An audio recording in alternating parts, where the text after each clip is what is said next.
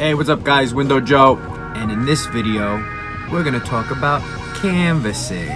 So, I want you to come take a ride with me and we'll show you how we do things. Let's go. Thanks for watching windowcleaner.com. Make sure to give us a thumbs up and subscribe. So, some of the things that I like to look for when I'm canvassing for storefronts is obviously the amount of windows, the accessibility to the windows, if there's anything in the way, if there's any signage, if there's any neon signs around the exteriors, and basically if I'm familiar with that sort of account. And what I mean when I say that is that I have a, a bunch of Starbucks accounts, and although they're different buildings and locations, they all seem to have the same gist about them. So I'm very familiar of how to move the things if I have to, if there's, you know, different kinds of chairs and tables or counters, things like that. So I like to try and get in with people that I'm already involved with.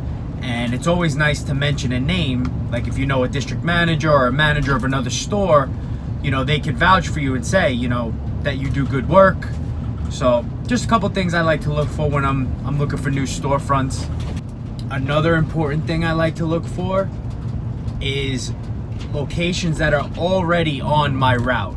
So although new accounts are new accounts, they're great, but they're even better if it's right along the way from one account to another and you don't have to drive all the way out of the way to get to it.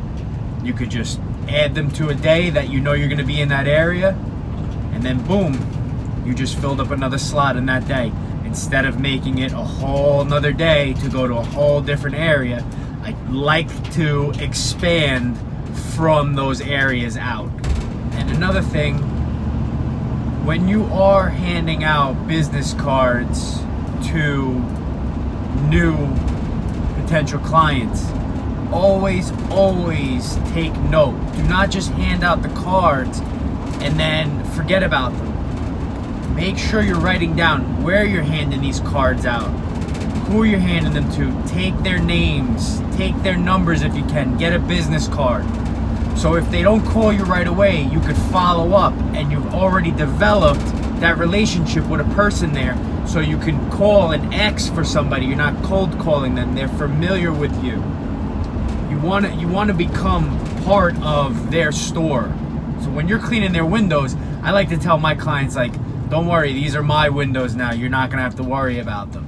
So show them that you care. Remember a name, get a business cards, invest in your potential clients.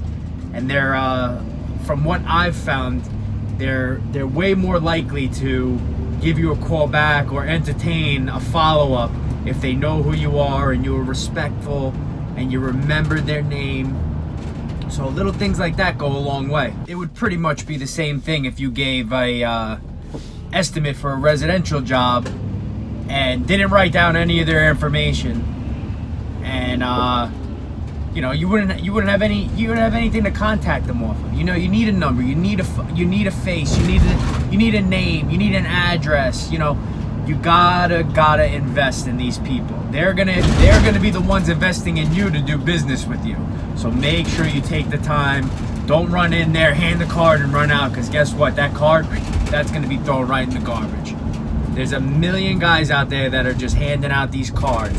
Be different from these other guys just wanted to show you my business card and how I had it made really simple for going about getting storefront work. I have my logo and all my information on the front, email, phone number, and on the back I have all of the platforms that I'm on and then weekly, bi-weekly, and monthly services. So when I'm quoting the job, I will give them all three of those prices and then let them decide what works best for them. There's a couple things that I always look for when I'm doing my door hanging or, you know, going and handing out cards to people if I see people in a neighborhood.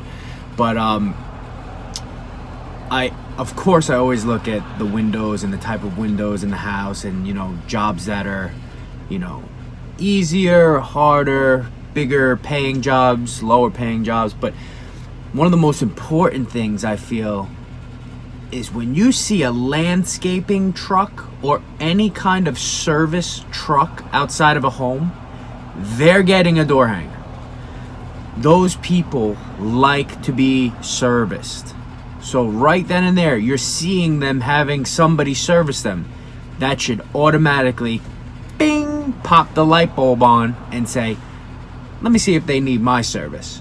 Use that tip when you're out canvassing. If you see a service industry truck, any kind of service industry truck, you make sure they're gonna know about you too. So that's about it, guys. Uh, hopefully, this information helps you out, and uh, some of the tips and tricks that I have gone over are beneficial to you. Um, if you have any questions, head on over to Window Cleaning Resource. They have a uh, a couple forums and groups that uh, guys throw ideas and insults back and forth on. But um, definitely comment below if you have any questions. I'll do my very best to answer them. And don't forget to like, comment, and subscribe. And we will see you in the next video. Thanks for watching WindowCleaner.com on YouTube. If you liked the video, please thumbs up and subscribe. And make sure to check back every Monday, Wednesday, and Friday so you don't miss a video.